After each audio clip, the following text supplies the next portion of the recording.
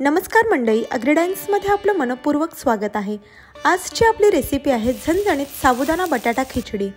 ही खिचडी मसालेदार तर असतेच पण त्याचबरोबर अगदी फुलफुलीत आणि मऊसर होते.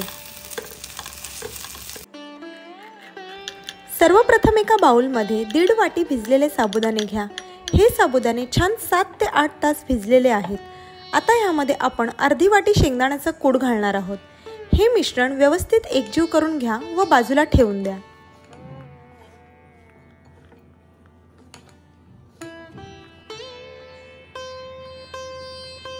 पॅनमध्ये दीड टेबलस्पून साजूक तूप घ्या.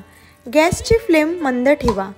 तूप गरम झालं की त्यामध्ये अर्धा टीस्पून राई एक टीस्पून जिरं थोडासा कढीपत्ता व पाव वाटी शेंगदाणे घाला. हे सर्व पदार्थ तुपामध्ये परतून घ्या.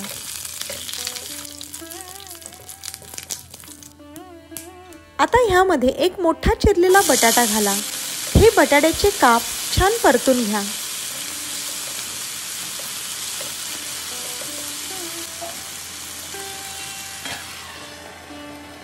आता आपण ह्या फोडणीला वाफ देणार आहोत जेणेकरून बटाट्याचे काप आतल्या आत शिजतील.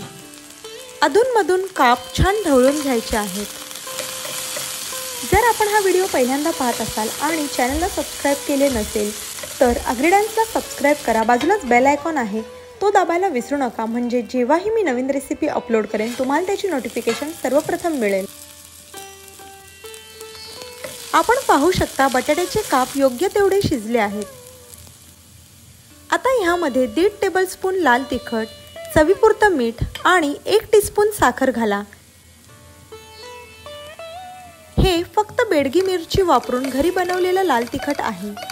हे सर्व पदार्थ व्यवस्थित परतून घ्या. आता ह्या मिश्रणामध्ये साबुदाणे घाला आणि छान एकजीव करून घ्या.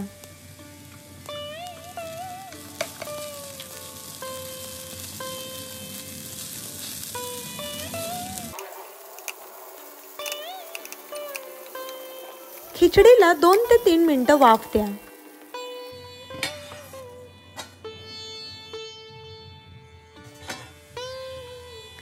फ्रेंड्स आपण पाहू शकता आपली झणझणीत अशी साबुदाणा बटाटा खिचडी तयार आहे. गरमागरम खिचडीचा आस्वाद घ्या. तुम्हाला ही रेसिपी कशी वाटली ते कमेंट्सद्वारे नक्की कळवा. धन्यवाद.